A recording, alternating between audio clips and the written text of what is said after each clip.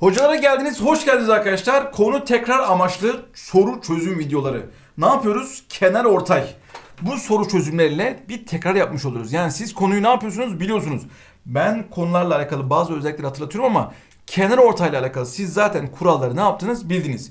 Bir üçgende köşeden çıkan ifade tabana geldiği zaman iki eş parçaya bölüyorsa bu kenar ortaydır. Peki şekilde G noktası. Peki G noktası ne? Bu indi iki eş parçaya böldü. Bu indi iki eş parçaya böldü. Bu indi iki eş parçaya böldü. Bunların kesiştiği nokta ağırlık merkezidir. Kenar ortayların kesim noktası. Peki ne yapar? Bir ifade A'dan çıktı. G'den geçti. İndiği kenarı ne yapar? İki eş parçaya böler. İndiği kenarı ne yapar? İki eş parçaya böler. Burası 5 ise burası da 5 olacaktır. Burası kök 15 ise burası da kök 15 olacaktır. Şimdi acaba burası ne kadardır? Şimdi arkadaşlar bu soruyu iki yola çözeceğim. Bir kurallı, iki kuralsız. Bir kurallı. Burada kim kime dik? VA, VB dik. Görüyor musunuz? Bak, bakın bu VA'dır. VA'dır. Bu da VB'dir. Eğer bir üçgende VA, VB dikse, A kenar kenar ortay, B kenar kenar ortay dikse, A kare artı B kare 5C karedir. Bu bir kuraldır. Ve VA kare artı VB kare VC kare eşittir. Bu da bir kuraldır. Ben kenarlarla ilgilendiğim için bunu kullanacağım. Hemen şunu duyar gibiyim. Hocam kuralsız yapalım ya. Devamlı kural kullanmayalım yani. Her kuralı ezberleyecek miyim? Tamam kuralsız yapacağım ama ilk önce kuralla bir yapalım. Bakın A kare artı B kare eşittir 5C kare. A kenarı kaç? 2 kök 15. Karesi ne yapar? 60. 2 kök 15'in karesi 4 çarpı 15. 60 artı B kare. B kare kaç? 5 5 daha 10. Karesi 100. O da eşittir 5C kare. Yani 5x kare. Eğer 165x kare ise x kare 32 x eşittir 4 kök 2. Tamam. Dakika bir gol bir. Çıktı. Ya hocam biz kural mural dinlemiyoruz yani. Tamam her kuralı da ezberleyemeyiz ki. Peki şöyle yapalım. Şimdi kenar ortayda indiği zaman iki eş böler ama belli bir oranda böler. Burası A ise buraya 2A demek. Burası B ise buraya da 2B demek istiyorum. Tamam. Buradaki Pisagor'u gördünüz mü? A kare artı 4B kare eşittir 25. Yazıyorum. A kare artı 4B kare eşittir 25. Buradaki Pisagor'u gördünüz mü? Bakın şurası dik ise burası dik. B kare artı 2A'nın karesi olan 4A kare eşittir kök 15'in karesi 15. Ne yapmak istiyorum? Taraf tarafa toplamak istiyorum. 4A kare bir A kare daha 5A kare artı 5B kare eşittir 40 ise A kare artı B kareyi buldum. 8. Bu cepte. A kare artı B kare 8'miş. Bitmedi. Bakın şurada bir Pisagor'um daha var. Görebiliyor musunuz? X kare eşittir 2A'nın karesi olan 4A kare artı 2B'nin karesi olan 4B kare. Bir tane A kare artı B kare 8 ise 4 tane A kare artı B kare benim için 32 ifade eder.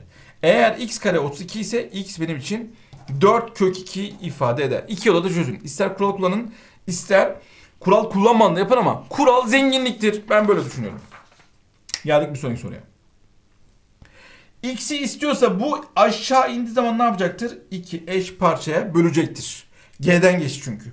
Ve hangi oranda bölecektir? Burası x ise burası 2x olacaktır. Benden 2x istiyor. Şimdi siz bir kere bir üçgende kenarortay formülünü zaten hani söylemiştim ya daha evvelki videolarda formül defteri.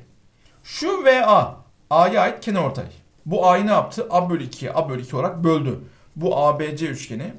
Ve burası B, şurası C. Bunu bilin. 2 tane VA kare artı A kare bölü 2 eşittir B kare artı C kare. Bunu bilin yani. Bunu bilmeniz lazım.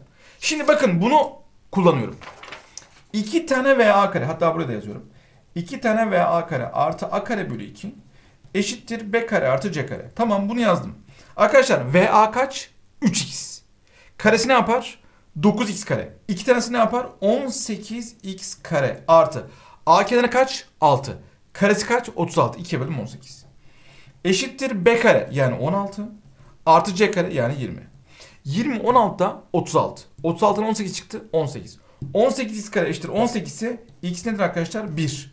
Eğer x 1 ise burası 1'miş burası 2'miş. Hayda bir yaşıma daha girdim.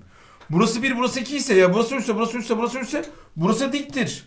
Yani eğer sorunun başında 4'ün karesi artı 2 kök 5'in karesinin 16 artı 20'den 36 olup buranın 6 olduğunu görseydik bunların hiçbirisine gerek kalmazdı ama onu görememe ihtimalimiz var. Cevap kaç çıktı arkadaşlar? 2 çıktı. Geldik başka bir soruya. Şimdi bu G ABC üçgenin ağırlık merkezi olduğuna göre acaba x ne kadardır? Burada bir şey görmenizi isteyeceğim.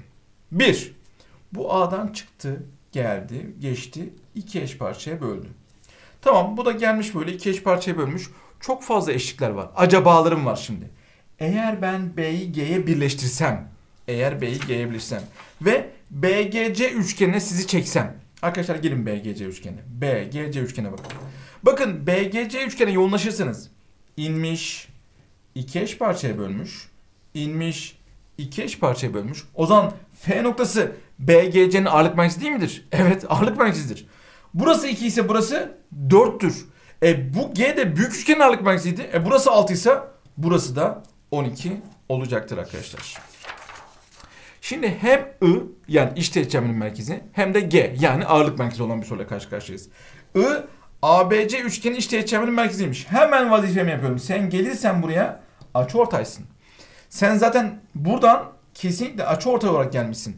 Sen G'den geçtiğin için iki eş parçaya bölmüşsün.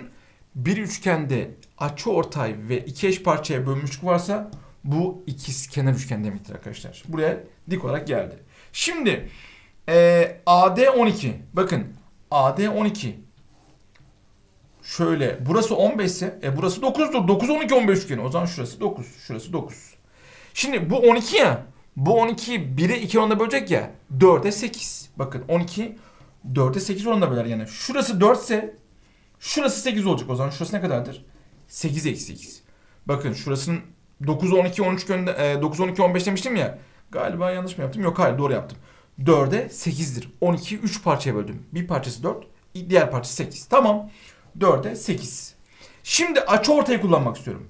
Eğer bu üçgende ABD'de açı ortaya bakarsam 9'un 4 artı x oranı 9'un 4 artı x oranı 15'in 8 eksi x oranına eşittir. Kaliteli. 3'e böldüm 3.